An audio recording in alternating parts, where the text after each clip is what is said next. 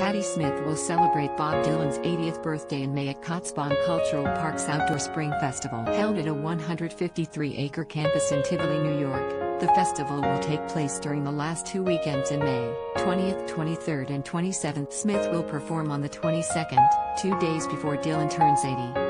She and her longtime bandmate Tony Shanahan will perform Dylan songs and recite poems. The festival will also feature sculpture, culinary arts, and dance, including two premieres from American Ballet Theatre and performances by Martha Graham. The festival will be held at less than 3% capacity and will follow the COVID-19 guidelines of CDC and New York State including masks and socially distanced essential workers, students, veterans, and seniors will receive a 10% discount.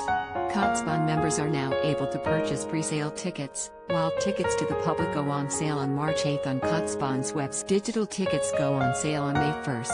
Related stories drummer Phil Jones on his years with Tom Petty, Bob Dylan, and Roy Orbison Amazon Prime Video hosts Coda Collection channel of music docs, concert films related stories Jerry Jeff Walker's Viva Terlingua, Inside the Fringe Country album Denzel Washington's movies ranked, from worst to best following the success of our 2020 Summer Festival, which was a direct response to the challenges facing our industry at the height of the COVID 19 pandemic. We are thrilled to present this inaugural Spring Festival, Executive Director Sonja Kostich said in a statement. During the nine week Summer Festival, Kaatsbaan was able to support over 100 New York. Kaatsbaan is also committed to the health and vibrancy of our local economy, with the Spring Festival providing opportunities for local economic growth that includes exciting new partnerships. Smith rang in the new year by performing her staple People Have the Power on inaugurate. It's a beautiful night, she said.